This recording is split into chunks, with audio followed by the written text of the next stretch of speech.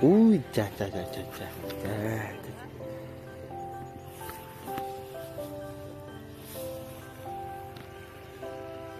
Hello anh em, Ở cái dịp trước thì mình có bảo với anh em là đầu tháng 12 mình sẽ có một chuyến đi du lịch Hà Giang cùng với công ty ấy. Đấy, Anh em thấy không? Hà Giang đẹp lắm.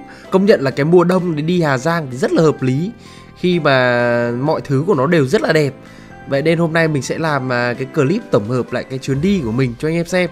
Anh em nhớ theo dõi nha. Hết đi. Để tới Hà Giang Từ Hà Nội thì chúng ta phải đi một quãng đường dài khoảng hơn 500 cây anh em ạ. Khá là xa và mệt Trong đó có hơn 165 km là chúng ta sẽ liên tục là đi đường uh, kiểu đường đi đường khúc khuỷu quanh co ấy ngoằn ngoằn ngoèo kinh lắm liên tục lắc lắc rung rung thôi ai mà bị say xe, cái này thì khóc bằng chết luôn. Xe của tôi thì ngon, lại có được một anh à, hướng dẫn viên du lịch hay lắm. Anh này à, nói chuyện hay như hát anh em ạ. Anh ấy có anh ấy là người dân tộc ấy, là anh lên đây để anh ấy làm hướng dẫn viên. Ui, anh nói thích lắm. Toàn anh nói toàn tiếng dân tộc cho mà, cái gì nhỉ? Ôi, mình chịu thôi. chính ra cũng điều anh nghĩ mà đoàn chúng tôi có một chuyến du lịch phải gọi là quá là đẹp anh em ạ. Anh nghĩ à, ở cái ngày đầu tiên anh nghĩ đổi cái lịch trình đoàn của chúng tôi là là lên đồng văn trước xong rồi về về yên yên minh để nghỉ. Đấy thế là thành ra đi hai cái ngày đầu tiên ấy không bị một cái gì luôn trời rất đẹp tham quan mọi thứ. Mà đến cái ngày cuối cùng sắp về bắt đầu về ấy, lúc đấy lúc đấy bắt đầu uh, trời mây mù mưa các thứ đủ kiểu. Trên đường đi tới Hà Giang ấy thì chúng ta sẽ uh, đi qua một cái ngôi đền gọi là đền đôi cô cầu má. Thì đây là cái ngôi đền người ta bảo rất là linh thiêng uh, khi mà thờ cúng ấy. Nên là mỗi lượt khách du lịch đi qua đây thì người ta thường vào đền uh, thắp hương.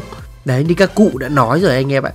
Có thờ có thiêng có kiêng có lành chúng ta cứ vào chúng ta thắp nén hương cho các thần để cầu cho cái chuyến đi của chúng ta an toàn. Đấy lại lại nói đến an toàn. Thì uh, trước khi mà đến đền ấy thì lại có cái sự việc không may xảy ra với đoàn của chúng tôi. Đó chính là đang đi trên đường bon bon tự nhiên từ đâu một em tuất nó chạy qua píp phát. Ui thôi là thế là xong. Xong rồi. Chịu luôn rồi. Em ấy phi một phát vào cái cabin anh em ạ thế là thôi vỡ luôn cả cái đầu của xe, mất kiểu cái một một, anh em nhớ cái ờ, kiểu chắn chắn chắn chắn ở đầu xe ấy, nó vỡ mất một mảng ở đoạn đấy. Thế là thôi, là cái lúc dừng xe là tôi cũng ngồi, mà mọi người xuống xe mà, thì u rồi ôi, vỡ như thế thì ờ, quả này anh tài xế khóc thét. Tại vì sao? Tại vì anh ấy bảo là vỡ này nếu mà sửa sơ sơ ấy, thì chúng ta mất khoảng tầm từ 3 triệu là giá hữu nghị với người quen. Còn uh, khéo còn khéo khéo phải lên đến ờ, uh, 3 triệu rưỡi. Là coi như là thế này thì anh lái xe uh, đi chuyến này coi như không công chứ còn gì nữa khéo còn trừ cả vào lương. Nói chung là khá là đen nên là uh, vào đây để uh, thờ để cầu uh, các thần cho cái chuyến đi của bọn tôi được uh, gọi là an toàn. Nói chung là đi đường đèo mà chúng ta không nói trước được điều gì nên là cứ vào uh, cúng các thần ở trong. Đấy. Ngôi đền này cũng khá là đẹp anh em ạ. Đấy. Khi mà đến với Hà Giang ấy thì chúng ta không thể nào mà bỏ qua được uh, cái điểm này. Đó chính là cột mốc số 0 đấy. Cái cột mốc số 0 này uh, đó chính là cái điểm bắt đầu của quốc lộ 2 nối hai tỉnh ờ, Hà Giang với cả thủ đô Hà Nội của chúng ta đấy. Đó. Nên là cứ mỗi khi mà đến Hà Giang auto người ta sẽ phải đi qua cái à, cột mốc số 0 này anh em ạ. Đấy trong cái cột mốc số 0 nó cũng chỉ có thế này thôi. Đấy nó chỉ là một cái cột uh, như kiểu ở trên đường thôi.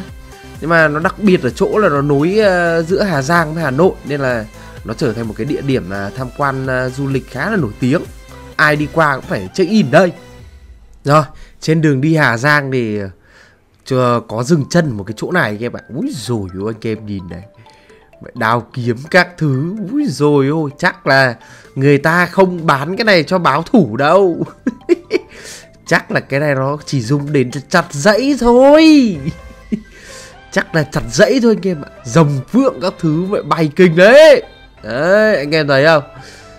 Hy vọng là chỗ này không bán cho báo thủ anh em ạ. Điểm dừng tiếp theo chúng ta chính là dốc thẩm mã.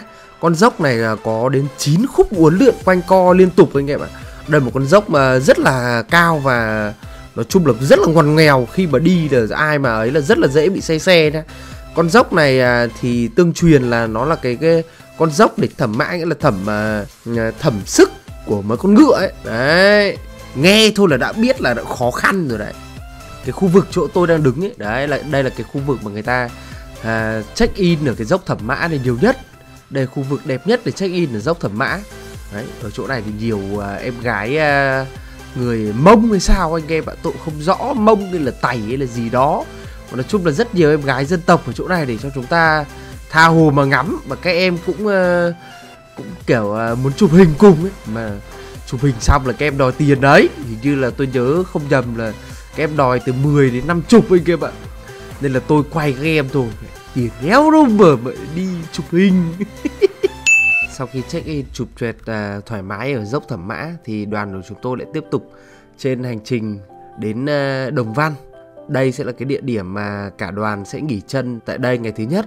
Đêm chúng tôi cũng sẽ ngủ lại ở đồng văn luôn. Phố cổ đồng văn khi về đêm thì là một nơi khá là đẹp mà lại rất là nhộn nhịp nhé đấy ở trong này các anh hát hò rồi nhảy nhót rồi lễ hội các thứ khét lắm.